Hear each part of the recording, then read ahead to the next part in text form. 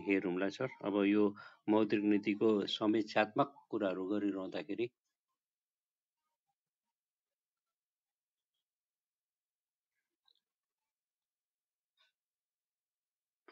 बिस्तारै बिस्तारै अब चल्दै जान्छ भनौँ होइन मैले डम्बर सरलाई पनि माथि ताने र यो रुम बिस्तारै अलिअलि चलाउँदै गरौँ र एकछिन कुरौँ एकछिन कुरौँ अरू सरहरू पनि आउनुहुन्छ र यो कुराहरू गरिरहँला। Dambar sir good evening sir कस्तो रह्यो आज शनिबार? नमस्कार गुड इभिनिङ सरहरू। ठिकै ठिकै रह्यो सर। यतातिर अलिक गर्मी गर्मी छ। अस्ति धेरै गर्मी थियो अहिले अलिक कम भएको छ। पानी हावा अलिअलि आएर अरू बिदाको दिन यसै उसै बितिहाल्छ सर के के काम साम गराएपछि। सरहरू धेरै जम्मा हुनुभएको छैन अब एकछिन अरू गफ गफ गर्दै गरौँ अनि मेन टेक्स्टमा जाँदै गरौँला होइन सर? हो सर। त्यसैले हामी कुरा गरिरहँदाखेरि अब यो मौद्रिककै कुरा हुने भएर हजुर। अनि मैले कता कता एउटा न्युज पढिरहेको थिएँ विराटनगरको वालाहरूले त हाम्रो मौद्रिक नीति सपोर्टिङ भएन पैसाको कमी आउँछ भन्ने खालको न्युज राखिरहेको रहेछन् सर। पैसा त अब त्यो भन्नै पर्दैन त्यो सुरुमै अब अलिकता अब यो क्यास फ्लो अलि टाइट हुन्छ भनेर नै कुरा गरिएको थियो होइन र सर त्यसको सुरुकै कुरामा नै त्यही थियो जस्तो लाग्यो। यसको थिम नै त्यही हो नि सर। अब हामीले नीतिले नै हामीलाई सबै कुरा दिने पनि यथार्थमा होइन। एक्सपेक्टेसन अब हामी इन्भल्भ भएको सेक्टरमा हाम्रो एक्सपेक्टेसन रहनु त स्वाभाविकै हो तर अब राष्ट्र ब्याङ्कले त यो सबै कुरालाई मिलाएरै हेर्नु पर्यो नि। हामीले उसको साइडबाट पनि हेरिदिनु पर्ने हुन्छ थोर बहुत त। त्यसो गर्दाखेरि यो धेरै हदसम्म हामी एक्साइटेड हुनुपर्ने आवश्यकता पनि छैन र हेरेस हुनुपर्ने अवस्था पनि छैन। किनभने धेरै कुराहरू ओपन पनि गरिदिएको छ। धेरै कुराहरू सहज पनि बनाइदिएको छ। र अब केही कुराहरू त टाइट हुने नै भए किनभने त्यसका लागि त नेक्स्ट गेटै केही छैन उपाय केही छैन त के गर्ने? जस्तो लिक्विडिटी क्रन्च हुने कुरा मा अब त्यसो नगरिकन उपाय छैन। अब कतिजना बिजनेसम्यानहरूको चाहिँ के कुरा हुने रहेछ भन्दाखेरि बिजनेस रिलेटेड कुरा उहाँहरू एलसीको लागि भएन हामीलाई सामान आयात नहुँदाखेरि समस्याहरू बढ्छन्। अनि व्यापार भएन भन्ने उहाँहरूको कुरा होला। अब हाम्रो कुरा हाम्रो आफ्नै कुरा हो। अनि अब अरूतिर पनि अलिकति सुरुमै त्यसको भेरी बिगिनिङमै प्रष्टै भनेको छ त। अब यो अलिकति टाइट नै हो भनेर भनिसकेपछि हामीले पनि त्यसै रूपमा लिनुपर्छ र हामीलाई पनि अब धेरैवटा कुराहरू सहज पनि बनाइदिएको परिस्थिति हो। त्यसले गर्दा यसलाई चाहिँ नेगेटिभ फर्ममा हामीले हेर्नु हुँदैन। यो धेरै राम्रो पनि होइन नराम्रो पनि होइनको रूपमा छ र ब्यालेन्समा यसले सबै कुराहरू मिलाउन ट्राई गरेको छ। अब यो खिचडी बनेको हो सर। खिचडी बन्दाखेरि अब सबै चिज हुन्छ। टेस्ट चाहिँ हामीले चुज गरेको चिजको टेस्ट हुँदैन। मिक्सचरमा त्यस्तै हुने हो। हामीले यसलाई यसरी नै बुझ्न उपयुक्त होला। अब होल कन्ट्रीको इकोनोमीलाई पनि हेर्नु पर्यो अनि अब विदेशी मुद्रा सञ्चितको अवस्थालाई पनि हेर्नु पर्यो। सबै कुरा हेर्दाखेरि उसले गर्न सक्ने यस्तै नै थियो होला जहाँसम्म लाग्छ। त्यहाँ पनि अब धेरै एक्सपर्टहरू छन्। त्यो पनि चेनमा बन्ने रहेछ। तलदेखि माथिसम्म बन्दै जाँदाखेरि र हामी सेयर मार्केटलाई पनि यसले त्यसरी इग्नोरै गरेको अवस्था होइन। जसरी पोहोर चेपो त्यसरी त अहिले चेपेको छैन नि। त्यसो गर्दाखेरि म चाहिँ पोजिटिभ छु सर अब सबैले पोजिटिभै हुनुको विकल्पै छैन किनभने हाम्रो इकोनोमिक कन्डिसनै त्यस्तै छ। र अब रह्यो कुरा अर्को के भनेदेखि रिलेटेड संस्थाहरूले चाहिँ आफ्ना आफ्ना कामहरू सबैले देखिने गरी काम गरेदेखि हाम्रो सेक्टरलाई पनि फ्रुटफुल नै हुने लाग्छ मलाई किनभने अब सेवनले गर्ने कामहरू सेवनले गरिदिनु पऱ्यो अनि त्यस्तै मन्त्रालयले अर्थ मन्त्रालयले गर्ने काम अर्थ मन्त्रालयले नेप्सेले गर्ने काम नेप्सेले यसरी गरिसके पछाडि सबै कुरा ट्र्याकमा आउँछ। आफ्नो जिम्मेवारी पनि उसले एउटा जिम्मेवारी नेप्सेतिर सेवनतिर सारिदिएको छ। त्यसो गर्दाखेरि त्यसले पनि अलिकति निर्णय प्रक्रियामा सहज होला। हुन त नि सरकारी निर्णय प्रक्रियाहरू त सहज त छैनन् टाइम लाग्छ प्रोसेस हुन्छ तर पनि अब एक स्टेप भए पनि घट्यो। त्यसो गर्दाखेरि त्यसले पनि सहज बनाउला। र अब ठुलो ठुलो घर जग्गाको लगानीलाई चाहिँ त्यता जानका लागि यसले डिमोटिभ गरेकाले मोटिभेसन नगरेकाले भोलि क्यास फ्लो यतैतिर आउन पनि सक्छ। किनभने मान्छेसँग ठुलो रकम त हुँदैन। ठुलो रकम नहुने बित्तिकै सानो सानो रकम त इन्भेस्ट गर्ने ठाउँ यही हो। त्यसो गर्दाखेरि हामीले त्यसरी ह्यारेस भइहाल्नुपर्ने अथवा यसलाई नेगेटिभकै रूपमा डिस्क्राइब गरिहाल्नुपर्ने अवस्था चाहिँ मलाई लाग्दैन। यो पोजिटिभली हामीले हेऱ्यौँ भने यो पोजिटिभ हुँदै जाने कन्डिसन देख्छु सर म। म अब धेरै कुरा इकोनोमिक्सको कुरा बुझ्दिनँ पनि होला। र मैले सर्फेसली बुझेसम्म मैले मेरो ल्यागतले बुझेसम्म यसमा नेगेटिभनेस भन्दा पोजिटिभनेस नै म बढी देख्छु। यही हो सर गोपाल सर आउनुभयो। गोपाल सरलाई स्वागत गर्दै अब अगाडि बढौँ कुराकानीमा। Thank you Gopal sir. Good evening sir नमस्कार डम्बर सर टिर सर मैले यजबी सरलाई पनि देखाएको थिएँ। अहिले देखिरहेको छैन। यजबी सरलाई एचबी सरकै रुम अहिले आउनुहुन्छ। एचबी सरकै सबै अरू सबै साथीहरूलाई पनि हलिसन पालन बस्नुभएका अग्रज सरहरू पनि मैले देखिरहेको छु। सबैलाई गुड इभिनिङ नमस्कार। शुभ सन्ध्या भने मैले। अब यस्तो हो मल्टी अब मल्टी समीक्षा आइसकेको छ। अब यो दुईतिरबाट हेर्न सकिन्छ होइन। हामीले पोजिटिभ वेबाट हेर्न सक्यो भने पनि पोजिटिभ पनि हुन्छ नेगेटिभ तरिकाले हेर्न सक्यो भने नेगेटिभ पनि हुन्छ। हामीलाई कस्तो भने हामीले के कुरा बिर्सिनु हुँदैन भने समग्र देशको अर्थतन्त्रमा डिफिकल्टी आउँदै गर्दा अब सेयर मार्केट मैत्री मात्रै एकदम सेयर मार्केटलाई बुम बनाउने खालको अथवा एकदमै सपोर्ट गर्ने खालको मौद्रिक नीति आउनु आउनुपर्छ भने हामी त्यति धेरै सेल्फिसनेस पनि हुनु हुँदैन त्यो कुरा एउटा हामीले एक्सेप्ट गर्न जरुरी छ होइन। अब समग्र देशलाई अथवा हाम्रो राज्यलाई राज्यको परिस्थिति अनुसार अब विज्ञहरूले ल्याउनु भएको राज्यको विरुद्ध हामी जान नसक्ने अवस्था हुँदै गर्दा हामीले जे छ एजिटी त्यसलाई स्वीकार जुन जुन पोजिटिभ कुराहरू छन् जुन जुन चिजमा हामीलाई सजिलो सुसज्जित बनाइएको छ ती चिजहरूलाई लिएर हिँड्नुपर्छ अथवा राज्यले लिएका नीतिहरूमा हामी पब्लिक पार्टिसिपेन्ट पनि भयो भने त्यो नीतिहरू सक्सेस हुनलाई सहयोग पुग्छ त्यो भएको हिसाबले हामीले राम्रा चिजहरूलाई लिएर हिँड्नुपर्छ। अर्को कुरो भनेको यो मौद्रिक नीतिले साना लगानीकर्तालाई सेयर मार्केटप्रति अलिकति सपोर्ट गर्ने खालको नीति आएको भए भएकाले साना लगानीकर्ताहरू पनि अब अलिकति एक्टिभली पार्टिसिपेन्ट भएर अलिक अगाडि बढ्यो भने सजिलो हुन्छ भन्ने मेरो धारणा हो। अब हाम्रो सेयरहरू रोक्का नहुने मर्जर एक्विजिसन हुँदाखेरि सेयर रोक्का नहुने कुराहरू आएको छ भोलि अब हामीले सेभेनमा गएर थप कुराहरू राखेर अब बोनस सेयरहरू एक हप्ता पन्ध्र दिनमा लिस्टिङ गरिसक्नुपर्ने खातामा आइसक्नुपर्ने खालका त्यस्ता प्रावधानहरू राख्दै गयौँ। आज एउटा भोलि अर्को गरेर टुल्सहरू थप्दै गयौँ र त्यो किसिमको वातावरण बढ्यो भने बिस्तारै बिस्तारै बजार एकदमै राम्रो हुन्छ। मौद्रिक नीति राम्रो भनेर एकदमै राम्रो पनि होइन तर अहिलेको समय परिस्थिति अनुसार ठिकै एभरेज खालको आएको र योभन्दा पनि कसिलो आउला कि भन्ने डर थियो। तर यतिको कुलो हुँदै गर्दा हामीले यसलाई एक्सेप्ट गर्नुको विकल्प छैन र त्यसको अगेन्स्टमा नगएर राम्रा चिजहरूलाई लिएर हिँडेर नराम्रा चिजहरूलाई आगामी दिनमा राम्रो हुने आशावादी हुँदै अगाडि बढ्यो भने चाहिँ राम्रो हुन्छ। त्यो देशको लागि पनि राम्रो हुन्छ हामी स्टक मार्केटमा काम गर्ने हामी लगानीकर्ताको लागि पनि काम हुन्छ र भोलि हाम्रो जो जो यी सम्बन्धित निकायहरू छन् उहाँहरूले लिनुभएको लक्ष्य पुरा गर्न पनि त्यो सजिलो हुन्छ।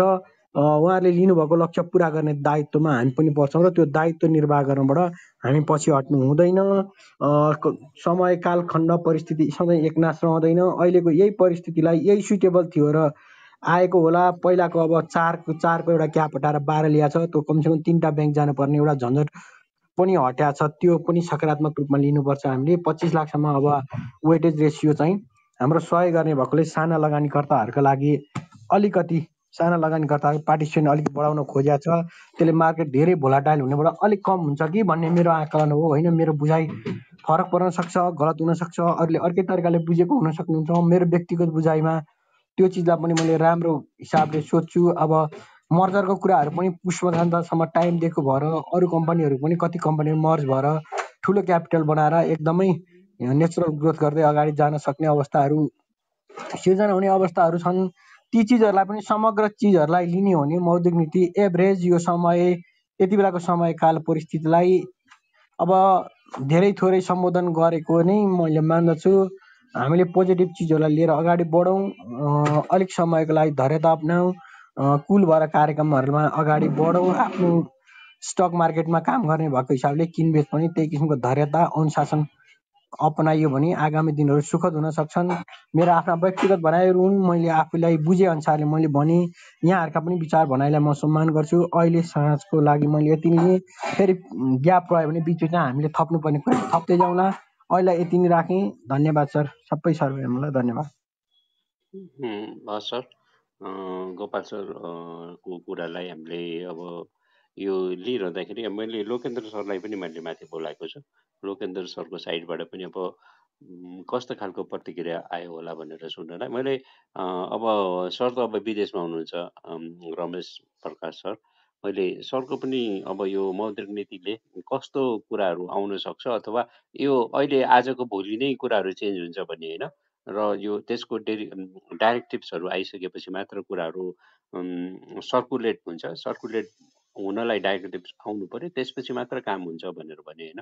त्यसले गर्दाखेरि अब भोलि उपरान्त नै के हुन्छ कसो हुन्छ बजार अब एकदमै हिजो हिजोदेखि अब खसिरहेको बजारलाई अथवा त्यसले एकदमै उत्साह दिन्छ भन्ने खालको कुरा पनि नहोला अथवा होला अब कलेक्सन गर्नुपर्छ अब यो फेजमा नलिए के गर्ने भन्ने खालको कुराहरू आफ्नै ठाउँमा भए।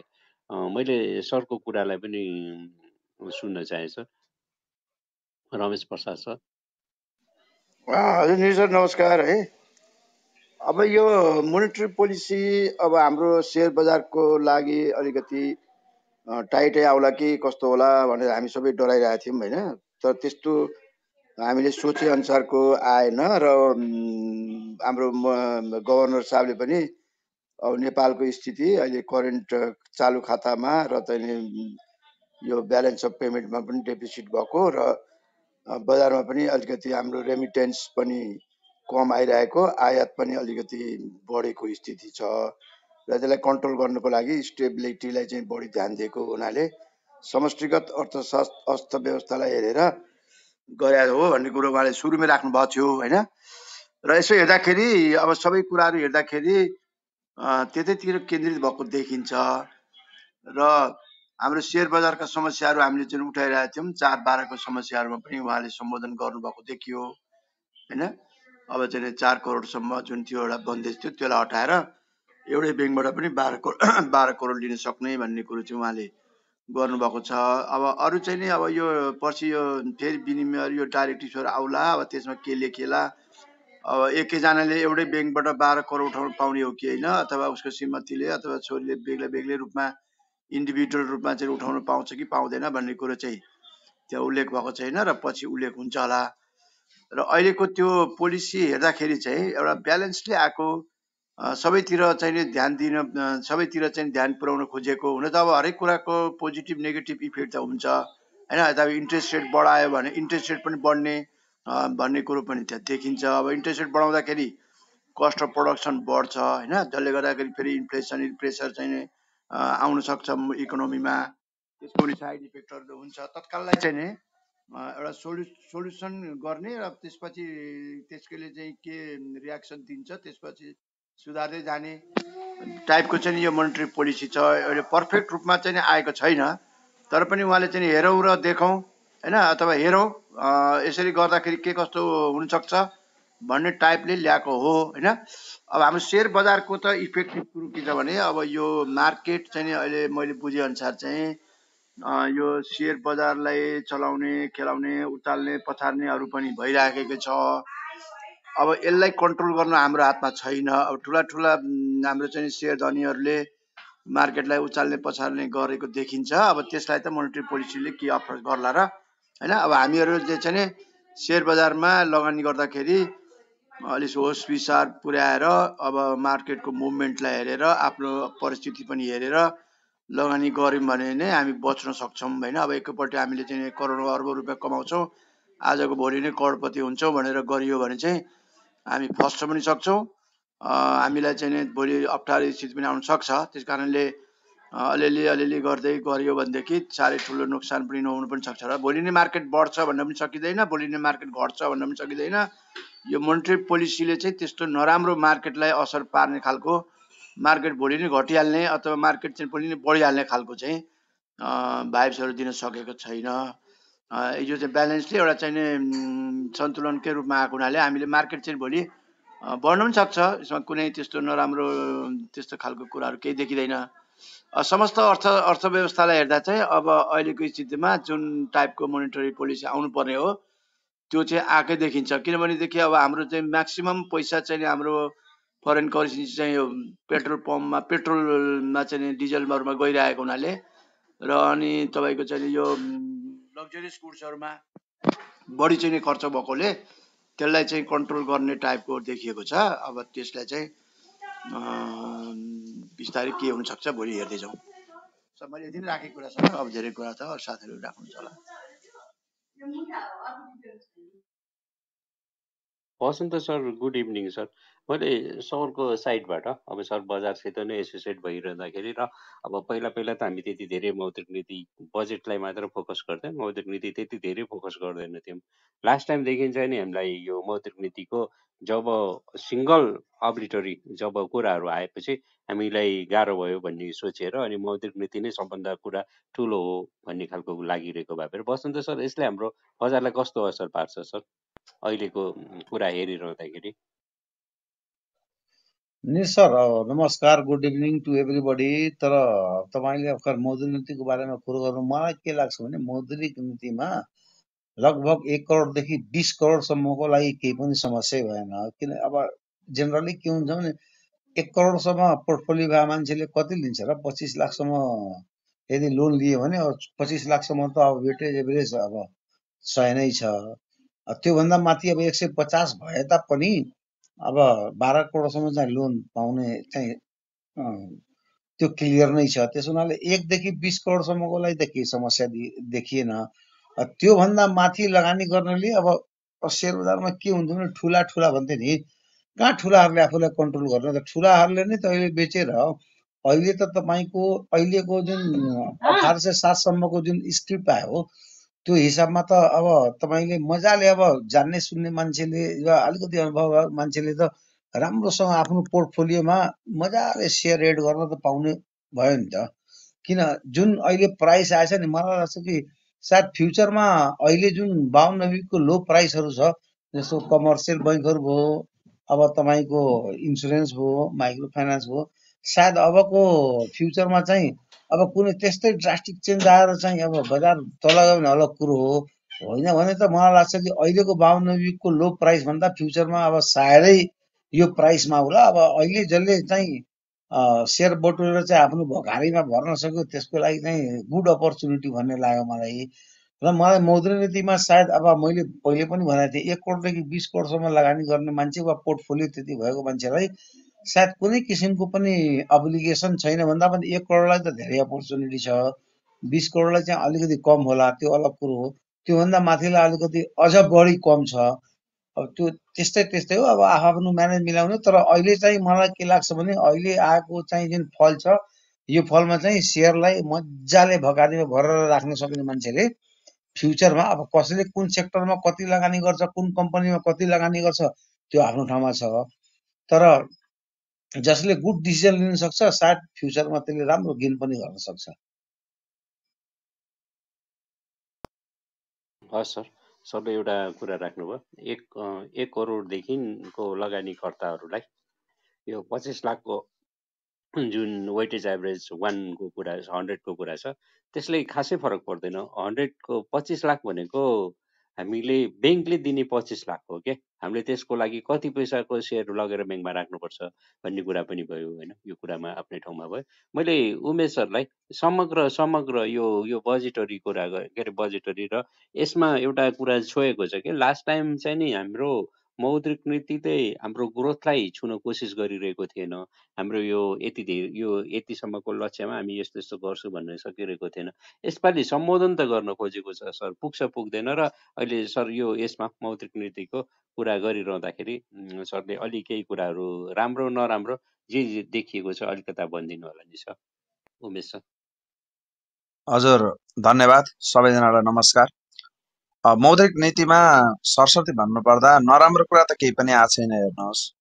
सेयर बजारको लागि मैले स्पेसली कुरा गर्नुपर्दा सेयर बजारको लागि नराम्रो कुरा केही पनि आएको छैन बरु राम्रै कुरा आछन् जुन हिसाबले आएको छ अब यसमा तपाईँको सेयर बजारमा दिइने लोनको जुन बाह्र करोड गरिया छ प्लस त्यसपछिबाट जग्गालाई रोकिया छ जग्गा कर्जालाई रोक्नुको मतलब अब ब्याङ्कले लोन नदिकन त बस्न सक्दैनन् हेर्नुहोस् ब्याङ्कले। ब्याङ्कको कामै लोन दिने हो। यसपालि अब साढे बाह्र पर्सेन्टको लोनको साढे बाह्र तेह्र पर्सेन्टको लोनको ग्रोथ आगामी वर्षलाई अनुमान गरिएको छ भने चाहिँ मेजर हिस्सा त अब सेयरमा पनि लोन दिने भन्ने कुरालाई चाहिँ सेयरलाई पनि एउटा सम्पत्ति जस्तो मानेर त्यो पनि सम्पत्ति नै हो है भन्ने कुराको चाहिँ अनुभूति दिलाउन खोजेको हो जस्तो लागिरहेछ मलाई मोनिटरी पोलिसीले र पच्चिस लाखसम्मलाई जुन गरेछ अब अलिकति सजिलो भयो साना लगानीकर्ताहरूलाई पनि पच्चिस लाखसम्म लोन लिनलाई किन भन्दा ब्याङ्कको चाहिँ त्यो रिस्क वेटेजले गर्दा ब्याङ्कले एक सय पचास पर्सेन्ट रिस्क भएको लोन चाहिँ ब्याङ्कले त्यति दिन खोज्दैन र त्यसमा अलिक धेरै ब्याज चार्ज गर्ने हो त्यो कारणले गर्दा पच्चिस लाखसम्म चाहिँ अब सबैलाई अलिक सजिलै रूपमा अब बरु जग्गामा लिने लोन नर्मल्ली मान्छेको सोच के थियो भन्दा जग्गा राखेर लोन राख्ने भन्ने भन्दा पनि अब सेयर राखेर लोन लिने भन्ने त्यो किसिमको एउटा चाहिँ माहौल बन्छ कि जस्तो। बनाउनु पर्छ जस्तो लागिरहेको थियो अस्ति मलाई। जे भए पनि मोनिटरी पोलिसीले त्यो बन्छ कि जस्तो भन्ने चाहिँ एउटा वातावरण क्रिएट गरेका छ। अब इम्प्लिमेन्टेसन पाटो हेरौँ। जहाँसम्म लाग्छ इम्प्लिमेन्टेसन पाटो पनि अब राम्रै होला। र समग्रमा मौद्रिक नीतिलाई त्यस्तो नराम्रो भन्न मिल्दैन। त्यति धेरै फेरि राम्रो भनेर चाहिँ अब अहिले दिवावली मनाउनु पर्ने अवस्था पनि छैन होइन? ओभरअलमा अब प्राइस इन्क्रिज भइरहेछ इन्फ्लेसन छ। इन्फ्लेसन त अलिकति हुन्छ नि जस्तो त्यो अनुमानित हो र इन्फ्लेसन हुनुको कारणले सेयर बजारमा त्यस्तो धेरै चाहिँ फरक पर्ने त्यति धेरै चाहिँ तलमाथि हुने जस्तो मलाई लाग्दैन। र मे मुख्य कुरा ब्याज दर हो। ब्याज दरलाई चाहिँ नियन्त्रण गर्ने मेकानिजम टुल र ब्याज दर चाहिँ नियन्त्रणमा अलिकति आयो भने सेयर बजारलाई त समग्रमा राम्रै हो र हामी ब्यादर ब्यादर भन्छ। ब्यादर पोहोरको अवस्था र अहिलेमा तिन पर्सेन्ट मात्रै बढायो। हो तिन पर्सेन्टको मात्रै फरक हो कि? ब्यादर जति नै हामीले कुरा गरे पनि तिन पर्सेन्ट जम्मा तिन पर्सेन्टले ओभरअलमा ब्याज बढाएको छ र यहाँ उपस्थित लगभग एक डेढ सयजना हुनुहुन्छ। उहाँहरूलाई पनि भनौँ मैले चाहिँ फाइनेन्स मन्त्र हिजो पनि भनेको थिएँ नियर सर्भिस सोद्धाखेरि। फाइनेन्स मन्त्र भन्ने मेरो युट्युब च्यानलमा मोनिटरी पोलिसीको मैले रिभ्यू राख्थेछु छु आधा घन्टा जतिको भिडियो छ। इच्छा हुनेहरूले हेर्नु हेर्दाखेरि त्यसमा अरू डिटेलमा मैले भनेको छु। यति नै राखेँ निर्सर समग्रमा पुँजी बजारको लागि राम्रो छ मैले देखेको चाहिँ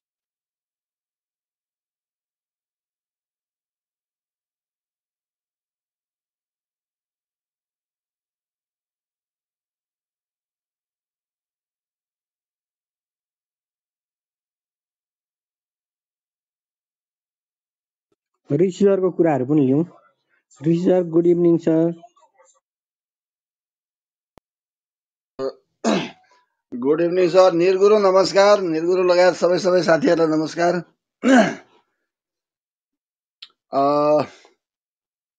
अब म त विदेशतिर बसिराखेको छु। मैले खास त्यो राम्रोसँग पढेको पनि छैन त्यति ध्यान गरेको छैन। तर अलिकति समग्रमा चाहिँ सबैतिरबाट हेर्नु पर्दाखेरि पर्खर हेरेको अवस्थामा चाहिँ मैले मौद्रिक नीतिलाई पाएँ। यसो क्लब हाउसहरूमा पनि केही विज्ञ साथीहरूको दुई तिनवटा चारवटा क्लब हाउसहरूमा कुरा सुनिरहँदाखेरि पनि हिजो नेपालभन्दा बाहिर बस्नुभएका साथीहरूको एउटा क्लब हाउसमा लगभग नेपालको रातभरि र यहाँको दिनभरि जस्तै बसेको थिएँ। त्यहाँ पनि यस्तै किसिमका विज्ञहरूले धेरै छलफल गर्नुभएको थियो।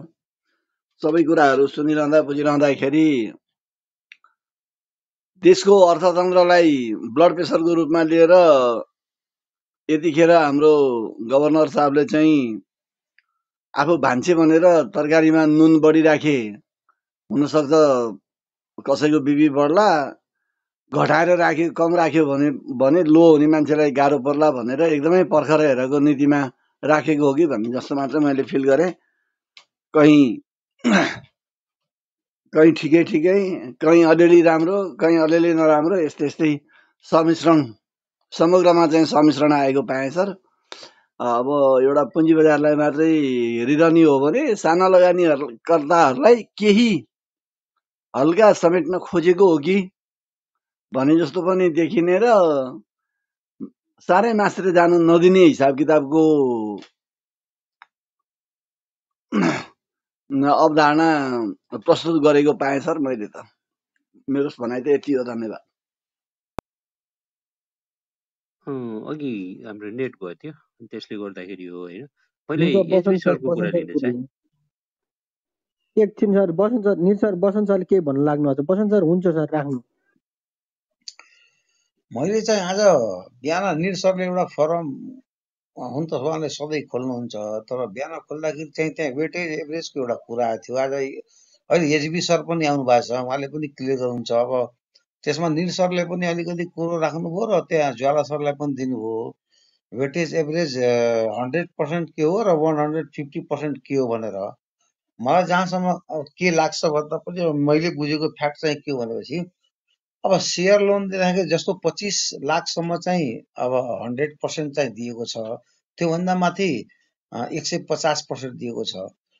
फरक कहाँ पर्छ भने एक सय सय पर्सेन्ट र एक सय पचास पर्सेन्ट पर्सेन्टमा फरक कहाँ पर्छ भने इनकेस त्यो लोन चाहिँ सेयर लोन डिफल्ट भयो वा नन पर्फर्मिङमा लोन गयो भने त्यसलाई चाहिँ त्यो बैङ्कले चाहिँ एक सय पचास पर्सेन्ट छुटाउनु पर्छ वा पच्चिस लाखसम्मको रेन्जमा चाहिँ सय पर्सेन्ट छुटाउनुपर्छ एउटा हामीले चाहिँ ब्यालेन्स सिटमा हेर्छौँ नन पर्फर्मिङ लोन भनेर हेर्छौँ।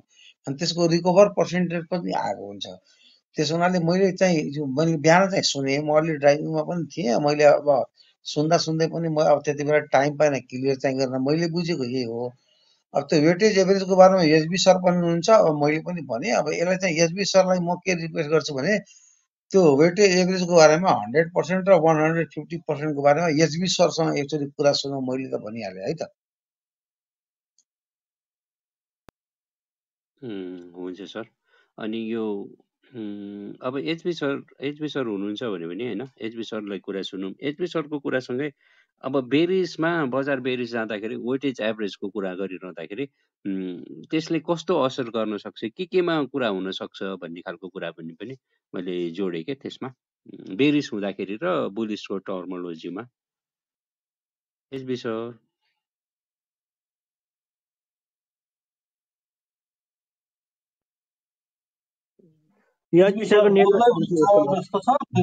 सरको आवाज सुनिरहेको छैन ब्लिङ्कै गरेको छैन सर।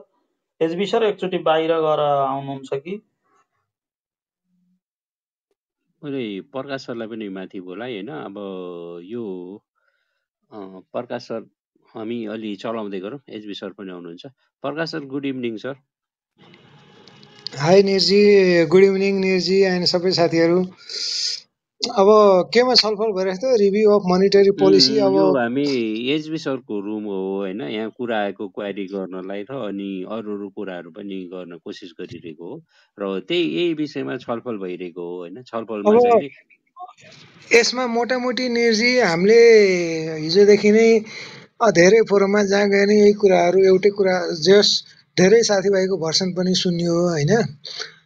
अब मैले चाहिँ अब अहिले अब भनौँ न आजको अहिलेको लेटेस्ट एज अफ नाउ चाहिँ के उ गऱ्यो सरी के फाइनल उ निकाल्यो भने अब यसको इनिसियल रियाक्सन्स मोनिटरी पोलिसीको इनिसियल रियाक्स मार्केटले कसरी रियाक्ट गर्छ भनेर भोलि त्यो देखिन्छ हेर्नुहोस्। फर्स्ट आवरमा देखिन्छ। इनिसियल रियाक्सन कस्तो हुन्छ? त यहाँ कस्तो त्यो इनिसियल रियाक्सन चाहिँ कुनै फेके पनि हुन्छ। त्यो इनिसियल रियाक्सन आफैमा इट्सेल्फ इज आर फेके ओ यसैको बाहना बनाएर बढाउने घटाउने काम पनि हुनसक्छ होइन? हुन पनि सक्छ। अब त्यसमा चाहिँ तपाईँ हामीहरू आफै अलिकति ऊ हुने त्यो आफ्नो ठाउँमा भइहाल्यो। अनि अब यसमा वाउ एक्साइटिङ भन्ने पनि मैले त खासै केही देखाएको छैन र यो पेथेटिक गयो ल सकियो भन्नुपर्ने ठाउँ पनि छैन। अब सरस्वती हेर्दा पोजिटिभहरू एक दुईवटा पोजिटिभहरू चाहिँ अब एड्रेस गर्न खोजेकै जस्तो देखाएको छ डाइरेक्टली एड्रेस गर्न न नभने पनि एड्रेस गर्न देख देखाएको छ। ल लोन लिने मान्छेहरूलाई से मार्जिन लोन लिनेहरूलाई तपाईँहरूलाई अलिक सजिलो होस्। भन्ने पनि देखिया छ होइन? तपाईँहरूलाई अलिक सजिलो होस् सानो लोन लिने नै अलिक सजिलो पाउनु भनेर पच्चिस लाखभन्दा तलकाले नै अलि स उता ब्याङ्कलाई पनि सजिलो बनाइदिएको छ। त्यो आस्पेक्टबाट चाहिँ I take that component positive होइन? अब नेगेटिभ हेर्दा चाहिँ अब त्यो मुद्रा चाहिँ अलिकति सङ्कुचित हुन्छ कि भन्ने चाहिँ देखिया छ। त्यो सिआरआर क्यास रिजर्भ रेसियो र यो बढाउनु पर्ने हुनाले पैसा चाहिँ राष्ट्र ब्याङ्कको भलतिर जान्छ। त्यसले हाम्रो यतातिर चाहिँ मार्केटमा अलिक कम हुन्छ कि जुन अझ मेरो पहिलाकै भाषामा नयाँ पैसा खालमा आउनु पर्यो क्या हामीलाई चाहिँ सेयर मार्केट वरवर्ती बढ्नलाई नयाँ पैसा आउनुपर्छ अब त्यो पैसा आउने वातावरण अहिले त्यस्तो फेभरेबल देखिँदैन मैले। अब हामीले किन भएन भन्नुभन्दा अब हाम्रो कन्ट्याक्ट चाहिँ नेसनल इन्टरनेसनल कन्ट्याक्ट चाहिँ यसैमा बसिराखेको छ अब गभर्नरले नै एकदम अन्त आउट अफ ब्लु मुन कतै नयाँ चिज ल्याउने त होइन यो नेसनल इन्टरनेसनल कन्ट्याक्सलाई नै एड्रेस गर्ने हिसाबले नै ल्याउनु पर्यो। उनले नै आफ्नै कतै न कतै त बाँधिएका छन् नि त उनी पनि अब गभर्नर साहब पनि बाँधेका छन्। उनले पनि अब अहिले सरस्वती जहाँ जे भन्यो त्यही उ गरेर त्यो गर्ने चाहिँ सरस्वती हेर्दा नयाँ पैसा थपिने चाहिँ मैले देखाएको छैन। अब बाह्र करोडको त पहिला पनि हामीले त ठुलोले जहिले पनि पहिला पनि ल्याएको थिएँ निर्जी होइन? बाह्र करोड खालि दुई तिनवटामा गएको थियो अहिले एउटैमा सजिलो अब रिन्यू गर्ने बेला नयाँ लिने बेलामा एकवटामा तिनमध्ये एउटैमा जान्छन् त्यहीँबाट सजिलो लिइहाल्छन्। उनीहरूले लिनेलाई सजिलो दिनेलाई नै सजिलो पुरानो क्लाइन्टहरूलाई अब ब्याङ्कलाई नै एकदम गर्दा जस्तो हुने क्लाइन्टहरूले नै खुसी हुने। अब जसले लिन सक्दैनन् अब उनीहरूले अब बाह्र करोड हुनुलाई तपाईँले हिजो नि भन्नुभएको थियो नि बिस करोडको सेयर हुनु पऱ्यो बाह्र करोड लोन लिन त। अब बिस करोड लोन सेयर हामीसँग कतिजनासँग छ सन नभएको होइन धेरैजनासँग नै छ होइन? उनीहरूले पहिलादेखि नै उपभोग गरिरहेको होलान् कतिजनाले त्यो त्यसको लोनहरू अब जसले पहिलादेखि उपभोग गरेका छैनन् भने अब अहिले यही यस्तो गाह्रो अवस्थामा किन आएर गर्लान्?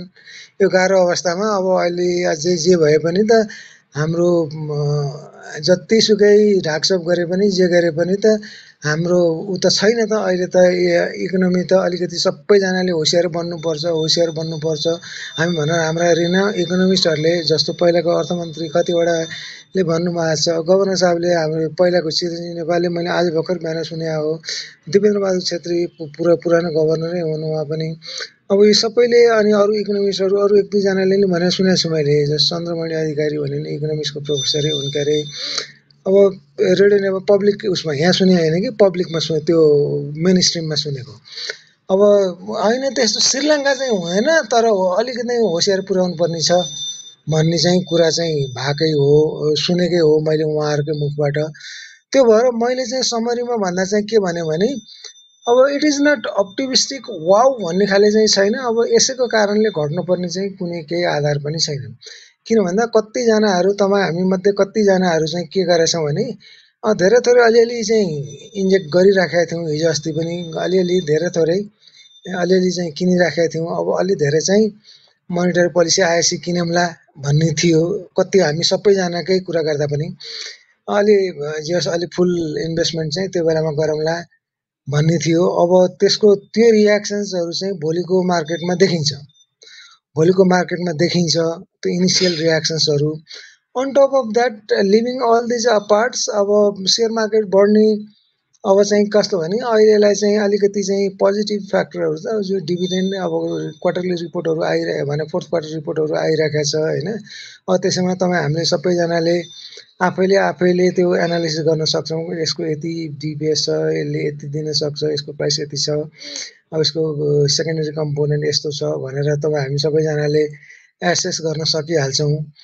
त्यो गरेको आधारमा अब यसमा अहिले आज देखेको रिपोर्टहरू पनि त सबै त I think they are above average above average छन् सबै। आजै देखेको रिपोर्टहरू नि त्यस्तो छि भन्न लायक त खासै त्यस्तो देखाएको छैन मैले एउटा त एलबिएलले चाहिँ किन त्यो बिग्रिया रहेछ भन्ने चाहिँ देखाएको थिएँ। अब किन बिग्रिया रहेछ यसको त्यस्तो पहिला राम्रो गरेको चिज अहिले चाहिँ किन कमायो भन्ने सोचे होला अब त्यहाँ कतै प्रोभिजनिङमा अलिक धेरै पैसा पर्या होला त्यो भने ट्रान्सपोर्ट टु रेगुलेटरी रिजर्भ भन्नेमा धेरै पैसा पर्या होला। अब त्यो भनेको त्यो आउने नै पैसाहरू नै होलान् पक्कै। अब अरू चिजहरू त यस्तै यस्तै त हो नि निर्जी अब कङ्क्रिट अनि फेरि यही मोनिटरीको पोलिसीको आधारमा सेयर बजार बढ्छ घट्छ भन्ने हाम्रो सेयर बजारले जहिले पनि हामीलाई बढ्ने घट्नेमा एउटा कारण खोज्ने हो।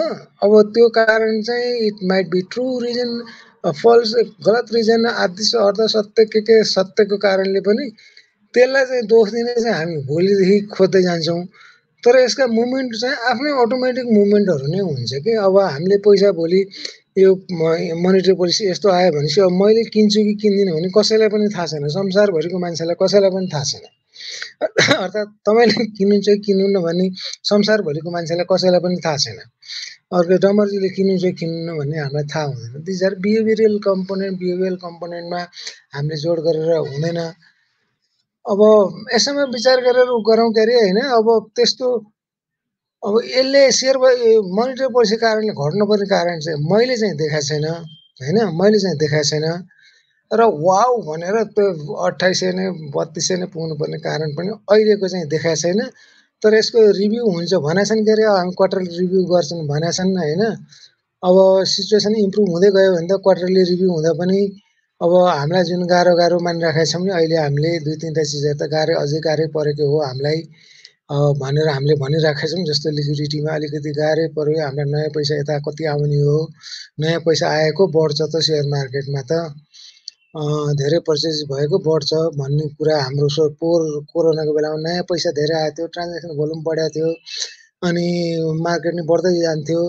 अब त्यस्तो अवस्था चाहिँ अब भोलि अब सुरुमै अब राम्रो देख कस्तो देखिन्छ भोलि नै हेरौँला। निर्जी मैले यति भने अरू बिचमा केही पऱ्यो भने थपौँला निर्जी म है? होइन जी ल मैले यति भने।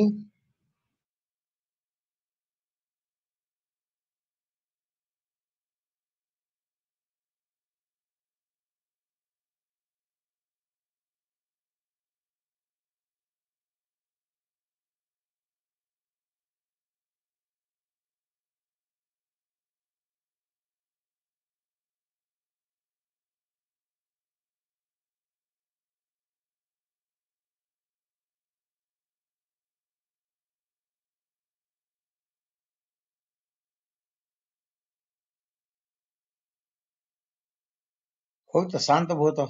सबैजना शान्त हुनुभयो क्या सायद निर सर बोलिराख्नु भएको छ। निर सरको आवाज आइरहेको छ निर सर। लिप गरेर जोइन गर्नु मैले अनुरोध गरेँ। निर सर एकपल्ट लिप भएर आउनु त। तलबाट अरू साथीहरू पनि जोडिनु हुन मैले अनुरोध गरेँ। माथि आएर सरहरूले पनि केही भनाइ विचार राखिदिनु भयो भने सजिलो हुन्छ।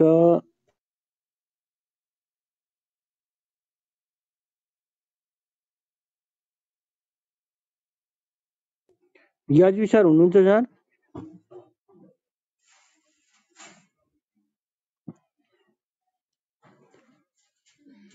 सायद यजवी सरले पनि सुन्दै हुनुहुन्न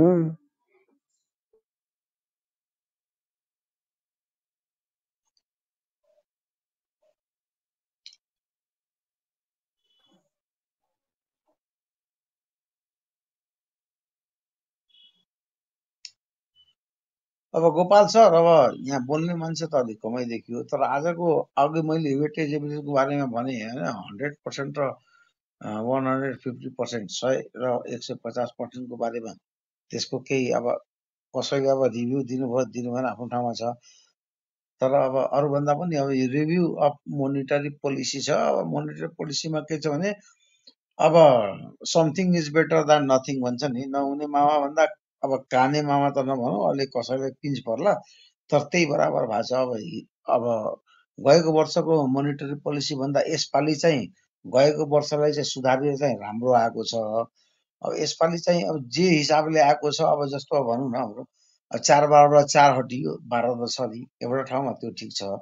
अर्को ठाउँमा अब यो यसले चाहिँ अब सबैभन्दा चाहिँ राहत चाहिँ कमर्सियल ब्याङ्कलाई पर्छ। किन हिजोको दिनमा चाहिँ कमर्सियल ब्याङ्क चाहिँ चार बाह्रको कारणले बहुत ढल्या थियो। अनि अर्को कुरो अर्को के छ भने त्यो माइक्रो फाइनेन्सलाई चाहिँ जसले लोन दिए पनि स्प्रेड रेटबाट दुई पर्सेन्ट बढीभन्दा दिन पाइँदैन। किन अब अहिलेको के छ भने अब राष्ट्र ब्याङ्कको पुरानो नीति अनुसारले अब माइक्रो फाइनेन्सले पन्ध्र पर्सेन्टभन्दा बढीमा लोन नदिने भनेको थियो। तर चौध पन्ध्र पर्सेन्ट त अहिले पनि विकास ब्याङ्कहरूको अब लमसम कमर्सियल ब्याङ्कको धेरै पर्सेन्टसम्म पनि पुगेको छ। त्यतिमा अब कसैले चाहिँ ब्रोइङ गरेर ल्यान्डिङ गर्न त स्थिति कुनै पनि माइक्रो फाइनेन्सको छैन। त्यसो हुनाले अलि माइक्रो फाइनेन्सलाई पनि राहत दिए जस्तो छ।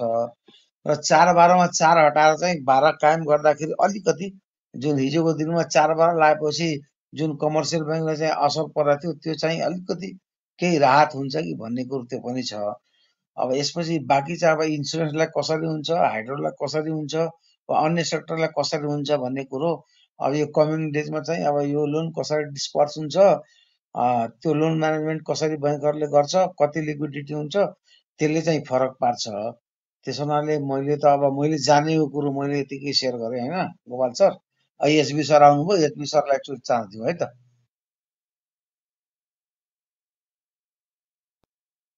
यजबी सर निर सर र डम्बर सरको सबै तिनैजनाको एकैचोटि नेटमा प्रब्लम भयो जस्तो छ। उहाँहरू अहिले हामीसँग रहनु भएन उहाँहरू बाहिर जानुभएको छ। सम टाइम वेट एकछिन वेट गरौँ। त्यसपछि केही कुराहरू